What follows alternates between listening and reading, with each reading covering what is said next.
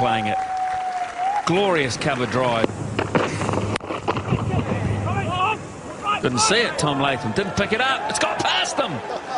It's only three yards to his left. He just didn't see it.